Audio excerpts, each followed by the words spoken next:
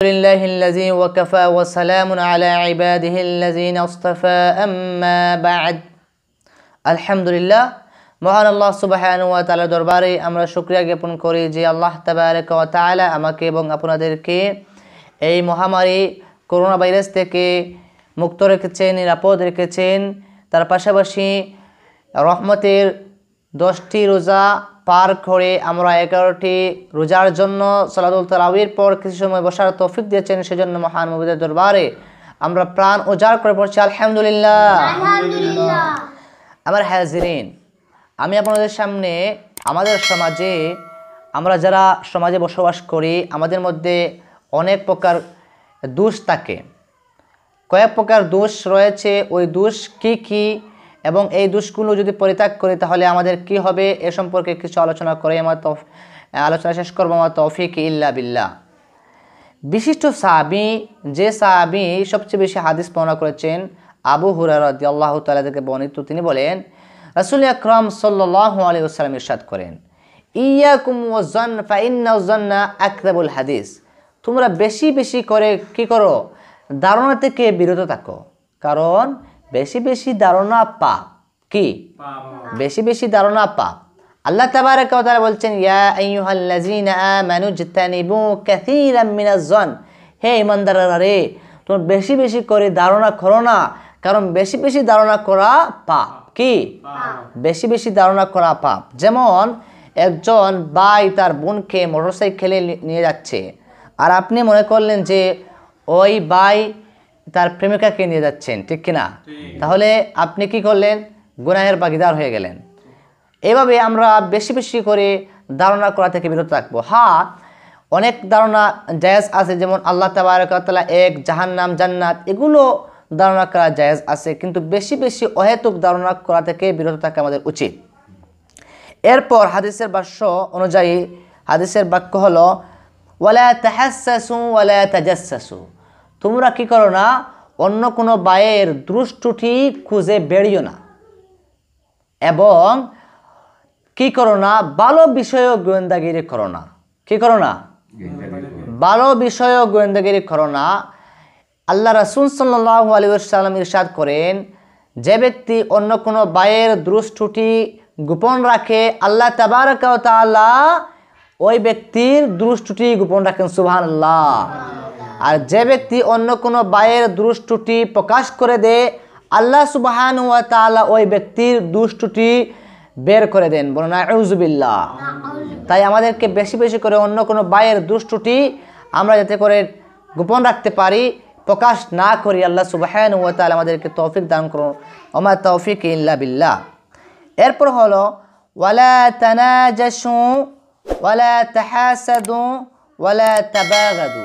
তোমরা কি করো না? একজনের দরের উপর অন্যজন দর করো না। কি করো না? ও একজনের দরের উপর অন্যজন দর করো না। কারণ হলো, যেমন মনে করুন আপনি দর করলেন একটি মাছ, কিন্তু আপনি এই দর থেকে দর করছেন, কিন্তু অপর কোনো ব্যক্তি এসে এই দর না করাটা ভালো। এটি ইসলাম শিক্ষা দিয়েছে।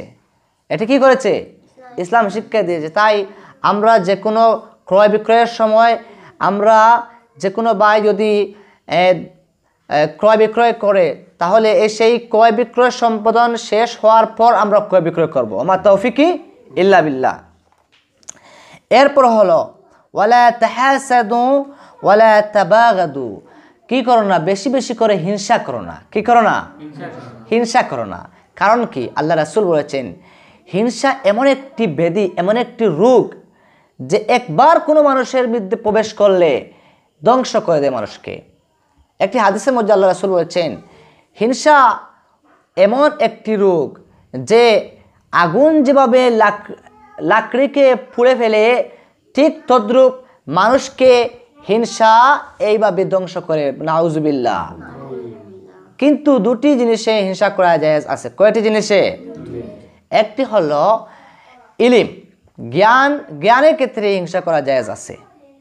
আরেকটি হলো যে প্রচুর পরিমাণে অন্য কোনো ব্যক্তি ধন সম্পদ দেখে সে বেশি বেশি করে মাদ্রাসা, মসজিদে আল্লাহ তালার পথে দান সৎকার করছে। আপনিও মনে করবেন যে আমারও যদি এমন টাকা পয়সা থাকতো তাহলে আমিও মসজিদে দান করতে পারতাম। আমিও গোপনে গোপনে মানুষের রাত্রির মধ্যে মানুষের হাতে কিছু খাবার দিতে পারতাম। এইভাবে এই হিংসা করা কি করা জায়েজ আছে? আমার হায়াজিন ইকরাম। এরপর হলো, ওয়ালা তাদাবারু গিবত করো না। কি করো না? কারণ কি? গিবত করা মরাবাইয়ের গুস্ত খাওয়ার সমান। কি করা? মরাবাইয়ের গুস্ত খাওয়ার সমান। আল্লাহ আল্লাহ তাবারে কথা বলছেন, হে ইমানদারে তোমরা কি কোনো মরাবাইয়ের গুস্ত খেতে পছন্দ করো? ফাঁকারে মুহা অবশ্যই তোমরা অপছন্দ করো। কি করো? মরা গুস্তকে আমরা খেতে পছন্দ করি? না। ঠিক তদুর পাবে আমরা অন্য কোনো বায়ের আফরকে কোনো কথাবার্তা বলা যাবে না।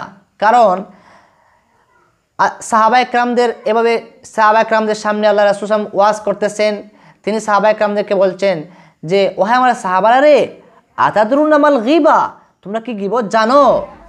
তখন সাহাবা একরামকে বলছেন, আল্লাহু আলাম ওয়া রাসূলুহু, আল্লাহ এবং তার রাসূল ভালো জানেন গিবত কি? তখন আল্লাহ রাসূল আলাইহি বলছেন গিবত হলো এই ওই বস্তু যে তোমার কোনো বায়ের আফরকে এমন কোনো কথা বলা যে তোমার বাই ওই কথাটা যদি জানতো তাহলে সে দুঃখ পেত, কষ্ট পেত। তখন সাহাবা একরামকে বলছেন "ইয়া আল্লাহ রাসুল সাল্লাহ আলি সাল্লাম, যদি আমার ওই বায়ের মধ্যে এই ত্রুটি, এই দোষ থেকে থাকে তাহলে কি? তখন আল্লাহ রসুল সাল্লাহ আলি বলছেন, তাহলে এটি হবে গিবত। কি?